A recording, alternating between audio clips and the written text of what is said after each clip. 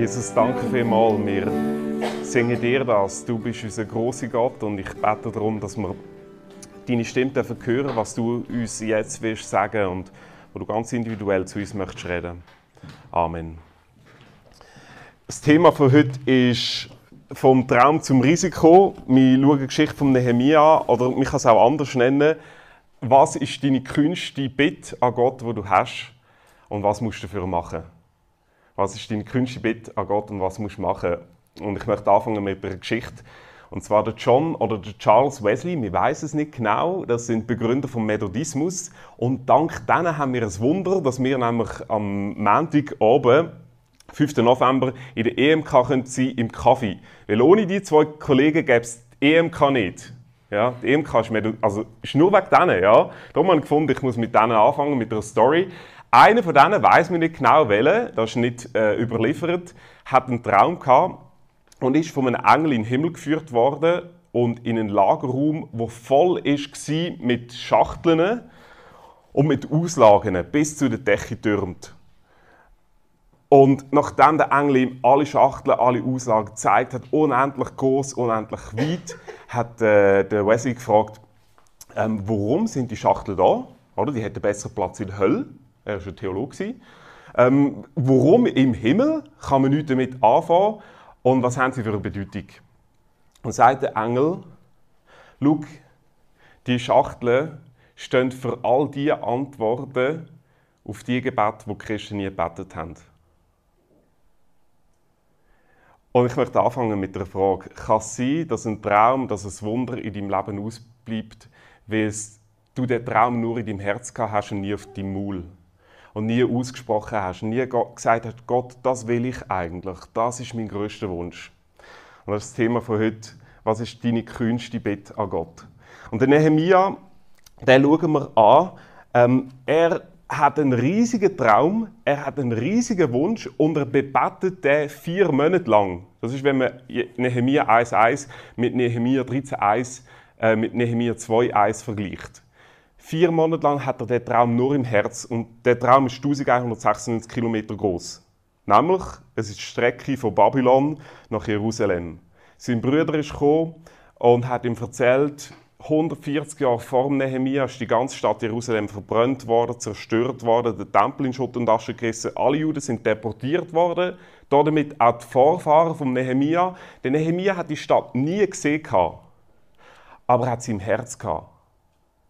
Er ist 140 Jahre später in Babylon aufgewachsen, ist Mundschenk geworden beim persischen König Artaxerxes und er hat gehört von dieser Situation und hat vier Monate das bebetet und dann ist der Tag gekommen, wo er sein Gebet, das er nur von sich in seinem Herz hat, ausgesprochen hat. Und das fängt an in Nehemia 2, Vers 4, dass nämlich der Artaxerxes plötzlich merkt, hey, bei dem Nehemia ist irgendetwas anderes. Und er fragt in dort, Nehemia 2, Vers 4, folgendes. Was begehrst du denn? Da, sein Stoßgebet, betete ich nochmals zum Gott des Himmels. Das ist Nehemia. Es ist ein Moment gekommen, wo, wo er, er hat noch mal kurz betet und zwar betet er zum Gott vom Himmel. Ich habe mich gefragt, wieso.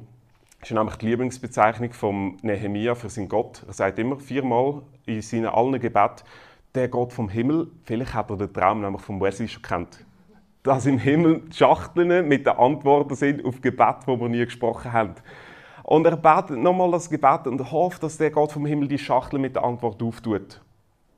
Ähm, und er betet Gott darum, dass, dass er ein Wunder macht. Und jetzt ist die Hauptfrage, ja, wieso ist das so weltbewegend?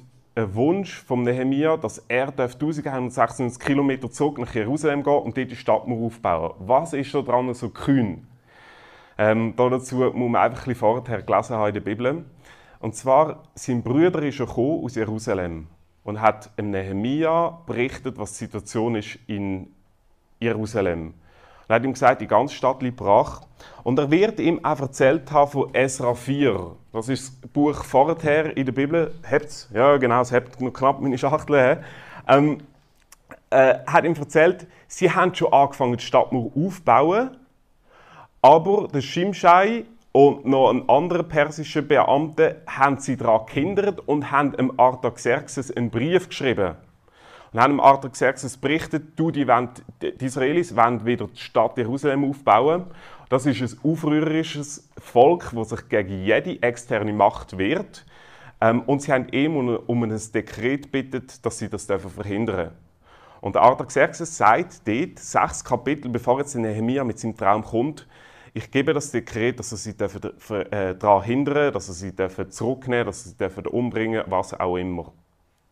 Das heißt, und der Nehemiah kommt jetzt und hat die kühnste Bitte, dass der persische König das Dekret wieder zurücknimmt. Und jetzt kommt der matchentscheidende Punkt. Ein persischer König dazumal hat sein Dekret nicht zurücknehmen Das heißt, er hat nicht das Dekret, das er erlassen hat, auflösen. Das wissen wir aus der Geschichte oder die, die, die Geschichte von der Esther kennen, auch in Babylon gefangen und so weiter. Dort ist genau die Situation, dass der König sagt, ich kann mein eigenes Dekret nicht mehr auflösen. Und der Nehemiah geht und bittet den Artaxerxes faktisch darum, sein Dekret aufzulösen, indem er ihn einfach sendet an sich nicht auflöst, dass sie daran gehindert würden, aber dass zumindest Nehemiah gehen darf. Und er sagt, ich will zwölf Jahre dort sein und ich will die Stadtmauer und den Tempel wieder aufbauen. Und ich möchte die Begleitschreiben von dir, dass ich sogar aus dem königlichen Wald das Holz schlagen darf. Das ist ein kühne Bitte. Und meine Frage an dich ist, und er betet zum Gott vom Himmel, was, was ist deine Bitte? Und wo du eine Antwort von Gott möchtest. Wo du einfach sagst, und das bete ich, dass Gott das macht. Weil der Punkt ist, wenn ich sehe in der Bibel, viele Wunder sind beinahe nicht passiert, weil die Leute nicht mutig gebetet haben. Der Petrus wäre nie auf dem Wasser gelaufen, wenn er nicht die kühne, nicht existenzielle Bitte hat, ich will auf, auf dem Wasser zu dir kommen. Oder es war niemand am Sterben, ja, der Sturm ist schon fast vorbei, vorbei gewesen. Jesus ist da. Und es, ist, es hat keine Not gelindert, dass der Petrus sagt, ich will auf dem Wasser zu dir kommen. Aber das Wunder wäre nicht passiert, wenn der Petrus nicht die grüne Bitte hat. Das erste Wunder von Jesus wäre nicht passiert, wenn Maria nicht gekommen wäre und hätte gesagt am Hochzeit, du, wir haben kein Wein mehr. Er war auch niemand im Sterben. Gewesen. Und so sind die meisten Wunder, ich glaube, im Himmel aufgehoben, weil wir sie gar nie gebetet haben. Und jetzt ist ein Punkt ähm, mit Gebet und Wunder. Wir haben doch irgendwie ein bisschen Skrupel, dürfen wirklich alles beten und es ist nicht egoistisch und was ist, wenn Gott nicht erhört? Ist denn keine Schachtel im Himmel parat oder was ist denn überhaupt? Ähm, und ich möchte auf das eingehen, aber ich möchte einen Vers aus Jakobus 4, Vers 2, da steht folgendes. Ihr habt nichts, weil ihr nicht bittet. Ähm, lasst uns eine Kirche sein, die betet, dass Gott Wunder tut. Und ich möchte dich ermutigen, wie heute vielleicht sagen, das Gott, das ist meine Bitte. Ein Wunder, eine Heilung, eine Bekehrung, ein Job, eine Familie, was auch immer. Und das heißt so hinterher, und das wird mir, ich, ich habe den ersten Vers, den ersten Teil vom Vers habe ich wie nie gelesen. Da ist mir nie gesagt worden, ihr habt nichts, weil ihr nicht bittet, sondern es ist mir immer gesagt worden, ja, Matthias, musst aufpassen, dass du nicht in der falschen Gesinnung bittest. Ähm, also, aber dann lasst uns mal schauen, was denn die richtige Gesinnung ist.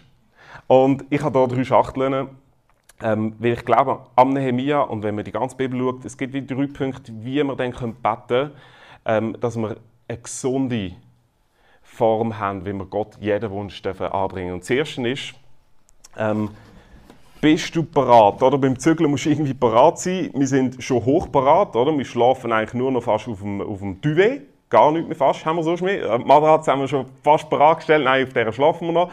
Aber bist bereit, oder, zum Zügeln? Äh, wenn jemand am Mittwoch noch Lust hat zum Zügeln oder am Dienstagabend ist das eine herzliche Einladung, ja. Ich habe einen Kollegen, der gesagt, Matthias, ich will unbedingt zügeln, oder? Dann muss ich nämlich nicht ins Fitness, ins Krafttraining. Das habe ich auch noch nie so gesehen, aber... Genau, bist du bereit? Und das ist das Erste. Alles hinzugeben an Gott. Weil ein Wunsch an Gott ist eigentlich der Moment, wo du sagst, Gott, jetzt, ich, ich lasse alles mal aus meiner Hand. Oder meistens springen wir für unsere eigenen Wunder. Wir machen und arbeiten und tun und aber bist bereit, mal alles hinzugehen und zu sagen, und Gott, ich gebe es dir ab. Wir Schweizer haben so ein Rechenschaftsverhältnis überall. Oder? Ich gebe etwas, damit ich etwas bekomme. Und das Rechenschaftsverhältnis das übertragen wir auch auf Gott. Ich bitte etwas, dann gebe ich etwas, dann muss er es mir auch geben. Und das Erste ist, bist du bereit, alles hinzugeben, bedeutet, bist du bereit, den Wunsch Gott zu sagen, aber ohne ihn noch irgendwie dazu zu dingen oder zu verpflichten, dass er dir etwas muss geben muss. Gott muss nichts geben. Gott ist einfach kein Schweizer. Ja. Er kommt nicht pünktlich, haben wir auch schon gelernt. Es ist einfach kein Schweizer, oder? Und da auch nicht. Oder? Er wird dir nie etwas geben, weil er muss, sondern weil er will. Und er will dir deine Wünsche erfüllen. Aber es kostet etwas, die Bereitschaft, einfach zu sagen, Gott, und das ist mein Wunsch und ich gebe ihn einfach dir hin. Ich weiß nicht genau, was passiert. Wir rechnen auch mit der Enttäuschung. Und darum, glaube ich, sprechen viele ihr grösstes Gebet, das sie haben, gar nicht aus. Weil sie Angst haben, enttäuscht zu werden. Was ist, wenn nichts passiert? Dann macht man es lieber nicht. Ich habe das so erlebt. Wir haben äh, hier unsere Vision vortragen, was unsere Vision ist als Kille. Und ich habe mir das dreimal überlegt. Mathis, willst du das sagen? Willst du sagen, dass wir von den regelmäßigen monatlichen Eingaben, die wir werden bekommen, von Anfang weg werden 10% weggeben? Willst du das wirklich sagen? Weil die Leute werden dir die Köpfe einhauen, weil du ja schon ihre, das, was sie Geld noch verzehrt ist, oder? Gerade wieder verschüttest, oder? Dann, ja, da habe ich kürzlich angerufen. Wir haben gesagt, mit unserem Zehnten, wir wollen immer überlegen, wer möchte uns unterstützen. Wir haben gesagt, wir jeweils für ein Jahr möchten wir ein Projekt unterstützen. Und jetzt haben wir gedacht, wir möchten Harry Pepellner, er macht eine Gemeindegründung in Könitz bei Bern, also eigentlich etwas Bonner zu uns. Und wir möchten ihm 10% geben. Dann habe ich mir angerufen, ob er überhaupt Bedarf hat. Oder vielleicht schwimmt er ja in Geld, habe ich nicht gewusst. Er hat gesagt, nein, ich schwimme nicht in Geld, aber ich habe Aldi nebenzu. Auf jeden Fall Matthias, wieso willst du mir den Zehnten geben? Den brauchen die jetzt selber. Ihr seid auch Gemeindegründungsbewegung und so weiter. Und dann habe ich gesagt, ja, das ist schon gut. Aber es ist, es ist einfach mein Prinzip, weil ich glaube daran, dass Gott Wunder macht. Und ich gebe es ihm einfach hin, wenn er es nicht macht, ich mache es trotzdem. Weil ich nicht mit einem Rechenschaftsgott leben will. Ich will nicht einen Gott, der mir nur das gibt, wo er dazu verpflichtet ist. Ich will einen Gott, der mir mehr gibt, als er verpflichtet ist. Da hat er gesagt, aber Matthias, wir machen das im Fall nicht. Es ist mir egal. Wir machen das. Und wir wollen das. Und jetzt kommt etwas mega Cooles. Ich glaube, ich glaube einfach daran, dass Gott Wunder macht, wenn wir alles riskieren. Wir sind jetzt nicht an der Pasco Ich könnte eigentlich zweimal im Jahr eine Pastorenkonferenz mit allen Pastoren und so weiter. Und eigentlich zahlt das Killen. Das ist jetzt nicht der Grund, dass wir das Turm nicht gemacht haben, weil wir ja das Konto erst gerade eröffnet haben, oder? Wir jetzt nicht gerade ins Minus stürzen, bevor wir es überhaupt eröffnet haben. Ähm, sondern der Grund ist, dass wir nicht waren, weil die Zirke hat angefangen zu arbeiten, ist gar nicht gegangen, mit Zügeln und so weiter. Aber dann hat, hat das, ein, ein Pastorenkollege hat das festgestellt, der Mathis und Zirke sind gar nicht angemeldet. Läutet er mir an und sagt, Mathis, ihr seid nicht auf der Anmeldung. Hat es damit zu tun, dass ihr es nicht zahlen könnt? Wir wären bereit, euch das zu zahlen. Der gleiche läutet uns an oder er schreibt eine E-Mail und sagt, hey, wir haben von eurer Kirchengründung gehört und wir möchten euch finanziell unterstützen. Und da kommt Geld von Thun kommt hier hin, oder, zu uns. Und einfach so, wir haben nie darum gebeten, ich habe nie ein Werbemail geschickt, ich habe auch keinen Infobrief zu uns, gar nichts. Und ich glaube, das ist einfach, bist du bereit, alles hinzugeben, egal ob es kommt oder nicht. Und das Zweite, ähm, bist du, und das ist viel schwieriger, es wird immer schwieriger, ja. Bist du bereit, ganz ehrlich zu sein zu Gott? Und wirklich zu sagen, was du wünschst. Weil es gibt, ich kenne Christen, die sagen mir, oder ich kenne Menschen, ja weißt, ich, ich bete das nicht, ich bin mega demütig. Oder ich brauche eigentlich nichts von Gott, ich lasse mich an allem genügen. Aber das ist eine verkappte Form von Stolz etwas nicht sagen. Und mir sagt, jeder Mensch hat eins bis zwei Geheimnisse in seinem Leben, die er niemandem erzählt. Das wäre eine super Frage für den nächsten Eheabend. Hey, äh, was ist das eine oder zwei Geheimnisse, wo du... Und überlege, es gibt Punkte, vielleicht hast, hast du alles erzählt, aber es gibt Punkte, wo du dich mega musst überwinden musst, es jemandem erzählen. Irgendeine Erfahrung, irgendetwas, was du hast, eine Beziehung oder was auch immer, wo du nicht einmal deinem Partner fast getraust zu sagen. Und das hat irgendwie auch damit zu tun. Wir, wir haben wie manchmal Skrupel, Gott alles zu sagen. Und die Frage, was begehrst du, wo der Artaxerxes stellt, die stellt eigentlich auch Gott uns. Was willst du wirklich? Weil er will es wissen. Wieso? Weil das, was nur in unserem Herz ist, macht uns krank. Es frisst uns auf. Wenn du ein Geheimnis hast, wo nur du weißt, früher oder später wird es sich auffressen. Es, es wird dich versuchen von innen her. Und Gott weiß das. Und auch ein Wunsch an Gott wird dein Leben versuchen. Du wirst irgendwann bitter werden über Gott, dass er nichts macht. Aber das ist, weil du den Wunsch in deinem Herzen behaltest. Und du wirst erleben, wenn du es einfach mal getraust zu sagen, du machst es und es ist wie eine Befreiung. Ich habe das erlebt bei einem anderen Punkt. Ich darf es eigentlich gar nicht sagen, aber wenn wir keinen Polizist unter uns haben, sage ich es. Ja. Ähm, der Phileas ist auf die Welt gekommen, oder? Und, und ich habe mich einem Abend total übermäßig genervt, oder? Ich weiß auch nicht, woher er die Gabe hat, aber ich, und ich bin ausgerastet und habe einen geklopft, einen geklopft, oder? In dem Moment habe ich gewusst, oh meine Güte, das ist kein gutes Erziehungskonzept. Und ich habe gewusst, äh, für das könnte ich sogar eingebuchtet werden, oder? Ich denke damals immer, auf dem Spielplatz werden, werden Kinder psychisch misshandelt. Das denke ich ist auch nicht optimal, aber für das wird man nicht eingebuchtet. Aber ja, nicht schlafen, der Spielplatz ist hochgefährlich, oder? Aber ich habe gewusst, das ist nicht, es ist nicht okay, oder? Und es hat mich von innen angefangen zu versuchen. Ich habe es nicht gewagt, das wirklich zu sagen. Ähm, und dann habe ich wie, dass der Heilige Geist mir sagt, erzähl es dem Silas, der heute auf Besuch kommt. Das ist der Götti-Bub. Äh, nicht der Götti-Bub, der Götti von Phileas, ja. Das war ein ganzer Nachmittag bei mir. Gewesen. Ihm nichts erzählt. Oder? Ich einfach gewusst, ich muss irgendwie Chancen packen, ihm das irgendwann zu erzählen. Ich also erst auf die, ich habe ihn auf die Bushaltestelle gebracht. Ich meine, das habe ich noch nie gemacht. Oder? Das habe ich bei meiner Frau gemacht. Die habe ich immer auf die Bushaltestelle, Tramstelle, SBW, überall habe ich sie hingebracht. Oder? Total verliebt gewesen. Der Silas hat sich gefragt, Matthias, warum begleitest du mich am Bus? Oder? ja, mega gern, Silas. Oder? Ja. Bevor der Bus ist gekommen, habe ich ihm gesagt, hey Silas, ich muss dir etwas sagen. Und das war das Geheimnis, das ich erlebt habe. Manchmal ist uns Jesus im Nächsten näher als in unserem Gebet. Weißt, ich konnte ich es einfach nicht abbeten. Jesus hat es tausendmal gesagt, aber es hat nichts gemacht. Und manchmal ist Jesus uns im Nächsten näher als in unserem eigenen Gebet. Warum? Weil Jesus es sagt, dort wo zwei zusammen sind oder drei, dort bin ich da. Und ich habe es gebraucht, dass ich es ausspreche und in dem Moment pff, ist das wie weg gewesen.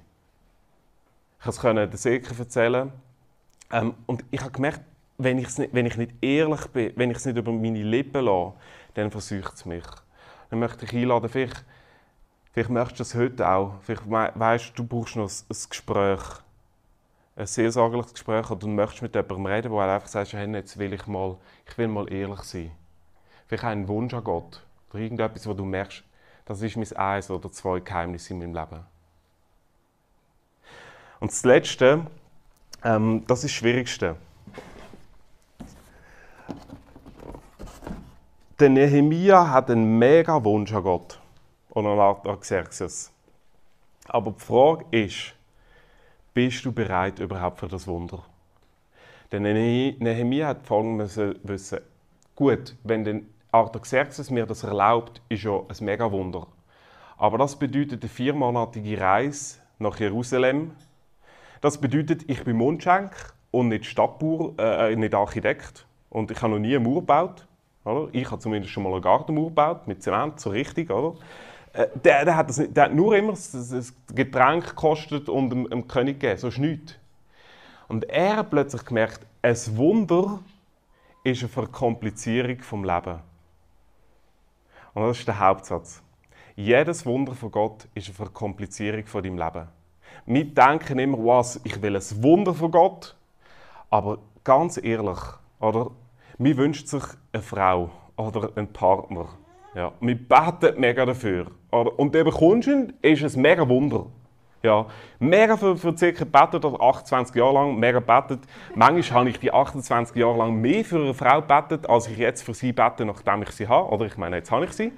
Aber weißt, wir haben keinen Ehevertrag gemacht, Silke und ich. Aber es gibt ungeschriebene Gesetze. Ja, nämlich, ich, äh, ich habe gemerkt, dass sich Liebe daran messen lässt, an der Anzahl ausgetragenen Ködersäcke. Ja, an Anzahl verbrannter Kalorien. Das haben wir nie festgehalten, aber es ist irgendwie ein ungeschriebenes Gesetz. Ja, also wehe, ich mache es nicht. Ich habe es gestern extra noch gemacht, weil ich wusste, heute habe ich die Predigt, oder? Und ich es gemacht habe. Ähm, äh, ja, eine Beziehung ist ein mega Wunder, aber es ist ganz ehrlich eine Verkomplizierung. Ein Kind ist ein mega Wunder, aber aus eigener Erfahrung es verkompliziert das Leben unendlich. Weißt? Und ich, ich, ich habe Gott dann schon mal gesagt, du Gott, ich habe für ein Kind gebetet, nicht für schlaflose Nächte. Das ist der Punkt, oder? Ein Wunder, was es auch ist, ist immer eine Verkomplizierung.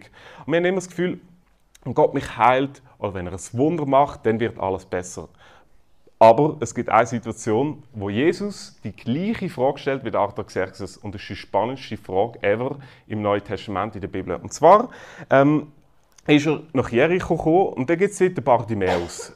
Äh, ein Mann, der ein Leiden hat. Und der schreit aus ganzem Herzen, dass Jesus ihm hilft. Und ich, ich habe das lange in meiner Bibliothek immer aufgesch äh, ähm, äh, aufgeschlagen, gehabt, das Bild von Bartimäus, wie er brüllt. Ich habe das, äh, weißt, der Kaiser Kart, der das gezeichnet hat, zeichnet Bartimäus eigentlich zweimal in der genau gleichen Pose, einfach einmal noch mit der Hand im Gesicht. Aber er schreit sich Seele aus dem Leib, oder? Er schreit zu Jesus.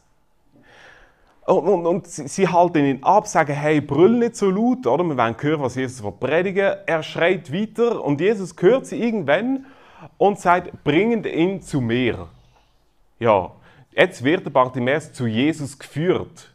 Und es heißt auch noch explizit, er hat noch seine Augen verbunden. Was ist echt, und das ist jetzt Dialogfrage ähm, Bachelor, was ist im Bartimäus sein Problem? Hat er Hunger? Ja, das ist nicht sein sexisches. Oder er ist blind, das sieht ja jeder, der Augen hat. Aber was fragt Jesus, der Bartimäus? Und das ist die Frage in Markus, ähm, äh, wir sehen es jetzt gerade von Stadt, 10 Vers 51. Ja, das war richtig. Ähm, muss nochmal zurück. Da sagt Jesus ihm, was willst du, dass ich dir tun soll? Es ist die gleiche Frage wie der Artaxerxes. Ja, ich an Bartimäus seiner Stelle hat mich irgendwie ein bisschen verarscht gefühlt. Ja, Jesus, du siehst es. Oder? Wieso fragt Jesus die Frage, was willst du? Und es ist das, bist du bereit fürs Wunder? Das fragt Jesus. Weil der Bartimäus muss wissen, hey, von dem jetzigen Tag an kann ich nicht mehr einfach in der Stadt hocken und betteln. Von jetzt an muss ich das Leben in die Hand nehmen. Wenn ich wieder sehe, bedeutet das, ich muss für mein Geld wieder arbeiten und kann nicht nur am Strassenrand hocken. Er merkt, ein Wunder ist eine Verkomplizierung vom Leben. Er sieht das plötzlich, der Bartimäus. Und darum stellt Jesus ihm die Frage, was willst du überhaupt? Und ich habe manchmal das Gefühl, Gott stellt uns die Frage, was willst du überhaupt, damit wir uns bewusst werden, hey, wollen wir das Wunder wirklich? Ich habe jetzt im Sommer, im Juli, das war der Moment, ich habe mega dafür gebetet, dass, dass Gott uns wie ein Zeichen gibt, dass wir hier die Kirche bauen dürfen. Das war mein grösster Wunsch. Ich möchte Kille, ich möchte einfach Kille bauen. Und es ist, als ob Gott mich fragt, Mathis, meinst du das wirklich ernst? Weil, wenn du für eine Kille betest, betest du für einen Haufen von Problemen. Ja, du betest für schlaflose Nacht, du betest dafür, dass du wieder anfängst zu fasten, du betest dafür, dass, dass du immer dran bist. Willst du das wirklich? Und das ist die Frage von Gott an dich, welchen Wunsch du auch immer hast. Bist du bereit? Weil ein Wunder von Gott darf dich nie weiterbringen, als dein Charakter tragen kann. Du fragst vielleicht, ja, Mathis, ich habe das eigentlich alles durchgemacht und ich glaube, ich bin auch bereit fürs Wunder. Ähm, aber wieso geht es so lang? Und ich habe für mich einen Grundsatz. Ich bete einfach ein Gebet pro Mal. Und ich weiß, ich bin ein Gebet näher am Wunder. Aber ich mache es einfach ein Gebet pro Mal. Ein Einsatz pro Mal. Und ich weiß, ich bin einen Schritt näher am Wunder. Ich weiß es auch nicht. Oder die häufigste Frage in den Psalmen ist, Ja, habe ich einfach schon mal gebracht. He? Es ist nicht, warum Gott, sondern wie lange noch. Wieso? Weil das Warum können wir irgendwie nie erklären. Warum Gott was macht und was nicht, das ist einfach, das ist, da hat er eine eigene Logik. Ist auch nicht Schweizer, oder? Aber die meiste Frage 20 Mal ist, wie lange noch? Und unser Zeitgefühl gleicht im Blick auf Gott manchmal den Kindern, die einfach immer fragen, wie lange noch, wie lange noch, wie lange noch. Oder? Und einfach jede, jedes Mal sage ich ein Gebet pro Mal. Aber ein Wunder darf mich nie weiterbringen als mein Charakter. Und ich habe da eine Erfahrung gemacht in meinem Leben, die darf ich eigentlich auch nicht erzählen. Aber ich bin mit 18 von daheim weggezogen, zu Schlummereltern gekommen. Und Joshua, das war so ein Autofreak. Er hat zwei so, so richtig frisierte Autos gehabt, mega gut. Ja. Er hat gesagt, Joshua darf ich ein Auto auslehnen. Oder? Für mich war es ein Wunder, gewesen, dass er ja gesagt hat. Für ihn war es eigentlich Wahnsinn. Gewesen. Ja. Ich meine, ich hatte erst gerade das Billett, gehabt, oder? ich habe es ihm eingeschossen, zurückgebracht, gratis in Franco. Ich habe kein Benzin gezahlt, nichts, oder? Er, für mich war es ein Wunder, gewesen, das Auto. Ja, nach den, den, den Gang nach Gonossa zu ihm und zu bekunden, dass das Auto eingeschossen ist, nicht so wirklich, oder? Ähm, er hätte eigentlich wissen, einem Matthias kann ich nicht 200 PSH vertrauen, oder? Ehrlich gesagt war es nur ein VW-Bus, hat höchstens 4 PS gehabt, aber hat dafür einen Lärm gemacht wie etwa 400 Pferde. Ähm, haben voll eingeschossen. Aber für mich ist es ein Wunder gewesen. Aber das Wunder hat mich weitergeführt, als mein Charakter, als meine Fähigkeiten getragen haben. Und ein Wunder bei Gott dürfte ich nie weiterbringen. Und das ist die, die Gesinnung musst du haben, als du magst tragen. Und vielleicht sagt Gott, du, ich, ich habe da noch einen Punkt. Ich, du willst es vielleicht noch zu schnell. Weil zuerst noch etwas muss wachsen in dir wachsen aber dennoch möchte ich heute einladen, was ist deine kühnste Bitte an Gott? Und ich selber habe wieder für etwas angefangen zu beten. Ich selber habe wieder gesagt, und das ist meine Bitte an dich, Gott. Und wenn ich bis aufs Sterbebett bete, die, das Gebet sprechen muss. Aber irgendwann ist genug gebetet. Es ist nämlich spannend, also Nehemia, er kommt und er, er betet vier Monate lang und dann kommt der Tag, wo er sagt, und jetzt sage ich es.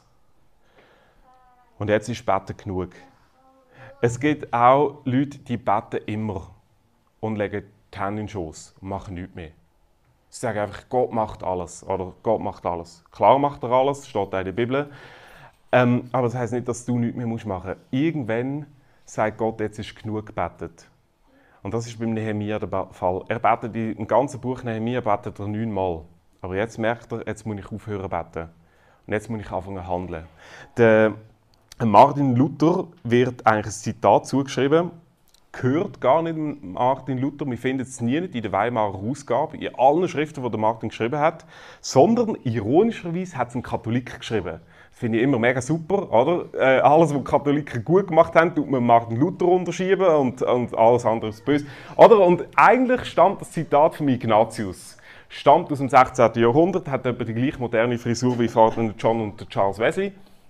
Er hat gesagt, und das kommt nicht von Martin Luther, ja, wichtig, bete, als ob alles Arbeiten nichts nützt und arbeite, ob alles Beten nichts nützt. Du musst irgendwie das schöpferische Und sehen. Du musst beides. Du musst beten, als ob es nichts bringen wenn du irgendetwas machst. Aber an einem Punkt in deinem Leben musst du aufhören zu beten. Und meine Frage ist, ich meine, das Gebet an Gott ist gut, aber kann sein, dass du irgendeinen Punkt in deinem Leben musst aufhören beten und anfangen musst handeln. Oder du kannst beten, Gott segne meine Ehe. Bitte segne meine Ehe. Aber irgendwann musst du aufhören beten und dich fragen, wann hast du das letzte Mal deinem Partner, deiner Frau, deinem Mann gesagt, hey, das, was ich dir gemacht habe, das tut mir leid. Weil das sind die vier gesegnetsten Worte für, für eine gesegnete Ehe. Dort müssen wir nicht beten. Dort müssen wir etwas machen. Und ich, ich möchte fragen, wann hast du das letzte Mal deinen dein, dein besten Freund, deinen Partner, deiner Frau, hast gesagt, hey, das, was ich dir gemacht habe, oder das, was ich da gesagt habe, das tut mir einfach mega leid. Irgendwann musst du aufhören zu beten. Dann kannst, dann kannst fromm falsch sein. Dann kannst du mega glauben, aber wie für deinen Glauben braucht es dann keinen Glauben mehr. dann kannst du einfach, dann kannst nur beten, aber du machst nichts. Und das ist, das ist Glauben ohne Glauben. Du musst an einen Punkt kommen von deinem Leben, wo du sagst, oh, und, und jetzt muss ich etwas machen. Und ich möchte das vergleichen mit, mit einer Geschichte von Mose. Ähm, der Mose steht mit dem ganzen Volk vor dem Schilfmeer. Und er weiß, vorwärts geht es nicht, weil Schwimmen haben sie in Ägypten nicht gelernt, das ganze Volk. Dort haben sie nur Pyramiden gebaut. Ja. Selbstmord. Zurück geht es auch nicht, die Ägypter. Im Norden geht es auch nicht, das sind auch die Ägypter. Im Süden ist die Sahara, dort geht es auch nicht weiter. Überleben wir nicht. Was machen wir? Und dann gibt es den schönsten Vers, 2. Mose 14, Vers 14, dort steht folgendes. Der Herr wird für euch streiten und ihr werdet stille sein. Oder da steht es, bet einfach, mach nichts, Gott macht alles. Und der Vers, der, der, der, der liest man immer, dann freut man sich, findet man mega gut, klebt man aufs Auto. Aber dann nachher, ja, dann kommt Vers 15, der nachfolgende Vers steht, was schreist du zu mir? Und sie haben leider dort mal noch kein Smileys gehabt. Aber ich glaube, wenn Gott heute die Bibel schreiben würde, dann würde es dort noch so ein Smiley geben. Der Gott fragt den Mose, hey, was schreist du noch zu mir? Sag den Israeliten, dass sie jetzt weiterziehen sollen und du sollst einen Stock nehmen und übers Wasser heben. Und den habe ich noch nie gesehen, dass man den betont. Aber der Mose, das ist übrigens seine Lieblingsgebetsart. Der Nehemiah betet immer zum Gott vom Himmel und der Mose schreit immer. Ich habe mal alle Stellen gelesen, wo der Mose zu Gott schreit. Der, der brüllt die ganze Zeit, oder? Er hat das Gefühl, ja, wenn ich da mit zwei Millionen Leuten unterwegs bin, dass Gott mich wirklich hört, muss ich schreien, oder?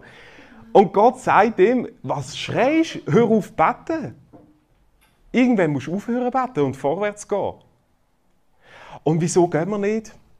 Ich glaube, weil wir Angst vor nassen Füßen haben. Wir haben Angst, enttäuscht zu werden oder wir haben, wir haben Angst, wirklich das Risiko einzugehen. Weil später stehen sie nochmal vor dem Wasser, vor dem Jordan. Der Mose ist zwar gestorben und sie können, können wieder nicht mehr vorwärts.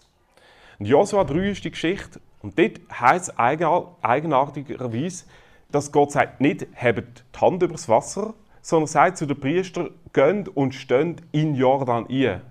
Macht eure Füße nass. Und ganz ehrlich, wenn ich Priester gewesen wäre, ich hätte Gott gefragt, ja Gott, kannst du nicht zuerst den Jordan teilen, ein Wunder machen und dass ich zumindest trockenen Fußes, also wenn ich schon durch den Jordan durch will, oder dann trockenen Fußes, oder bringt ja nichts, dass ich zuerst nass Das wäre meine Frage gewesen. Aber sie haben zuerst in Jordan einstehen, die Füße müssen nass werden und dann hat Gott das Wunder gemacht. Wieso das? Ich glaube, es ist ein Test von Gott. Ähm, und wir wünschen uns immer, dass Gott das Wunder macht, bevor wir den Schritt machen. Weil dann ist für unseren Glauben kein Glauben mehr nötig. Darum sagt Gott manchmal, hey, geh, jetzt ist genug gebetet. Das ist wirklich Glauben. Das ist Glauben hoch zwei. Und bist selber ein Wunder. Ich glaube, der Nehemiah war ein Wunder in seiner Person, als er nach Jerusalem kam. Und das ist das größere Wunder als das Wunder, das er erlebt hat, dass der Artaxerxes ihm erlaubt zu gehen für zwölf Jahre. Und ich glaube, unser größeres Wunder ist, wenn wir können sagen, es tut mir leid, als wenn wir unser Leben lang für unsere Ehe beten. Ich glaube, das größere Wunder ist, wenn wir uns plötzlich fragen, wo kann ich ein Wunder sein für den Nächsten? Wo kann ich ein Wunder sein für unsere Kinder? Wo kann ich ein Wunder sein für, für meinen Arbeitskollegen? Wo kann ich ein, ein Wunder sein in meinem Umfeld, in meinem Alltag? Nicht nur, was will ich für ein Wunder, sondern wo will ich ein Wunder sein? Und das ist der Anschluss, den Nehemiah uns gibt. Wo willst du ein Wunder sein? Nimm deine Künste bitte an Gott. Aber schlussendlich will Gott aus dir ein Wunder machen. Er will nicht nur an dir ein Wunder machen, sondern durch dich ein Wunder. Und dann wirst du erleben, was Nehemiah erlebt hat. Der hat erlebt, dass der König von Persien ihm sagt, und jetzt geh. Jesus hat es erlebt, dass ein römischer Hauptmann kommt und vor ihm auf die Knie geht. Und eigentlich ist das äh, falsch. Jesus hätte ihm vor dem Hauptmann auf die Knie gehen, oder? Der Hauptmann war höher als Jesus. Aber du wirst mit Gott erleben, dass, dass Menschen, die an sich in einer höheren Position sind, kommen und dir werden dienen. Der Artaxerxes hat dem Nehemiah dient. Warum? Weil er eine, eine grosse Bitte Gott hatte. Und ist dadurch zum Wunder geworden. Und ich glaube das, wir werden das auch erleben. Dass andere, die höhere Position haben, für uns eine Art des Wunder werden, wo uns einen Erlass geben und uns laufen damit wir ein Wunder sein dürfen. Lass uns beten und ich möchte auch dann noch, noch kurz Zeit geben, dir persönlich ganz, ganz einfach dich zu fragen, hey, was, was ist mein Wunder und wo will ich ein Wunder sein? Jesus, ich danke dir, dass du die Fragen Bartimäus gestellt hast und du stellst sie heute Abend uns. Was willst du, dass ich dir tun soll? Und Jesus, jeder von uns hat Wünsche, hat Erwartungen an dich. Und ich möchte dir die jetzt bringen. Und ich lade dich ein, für dich im Stillen, das erste Mal, vielleicht seit langem oder, oder überhaupt mal einen Wunsch Gott zu sagen. Und zu sagen, Gott, das ist eigentlich mein Wunsch.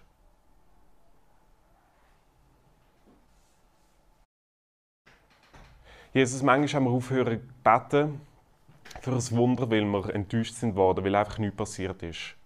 Wir haben gefragt wie lange noch oder warum. Vielleicht ist es, weil unser Charakter uns nicht mag tragen, was ein Wunder würde bedeuten auf eine Komplizierung. Vielleicht ist es einfach noch nicht der Moment.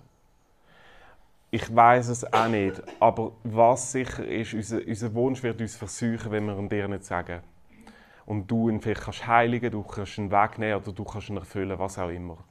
Und ich, ich bete darum, dass wir neu beten dürfen, unseren künftigen Traum. Dass wir neu beten dürfen, das, was wir wirklich wollen von dir. Und dass wir werden erleben, wie der Nehemia, dass du Türen auftust, dass du im Himmel die Schachteln rausholst, wo die Antwort ist für unser Leben. Wo die Antwort ist für unseren Wunsch und unser Gebet. Ich bitte dich, segne du uns. Ich bete darum, dass wir erleben du, du bist ein Gott, der Wunder macht. Amen.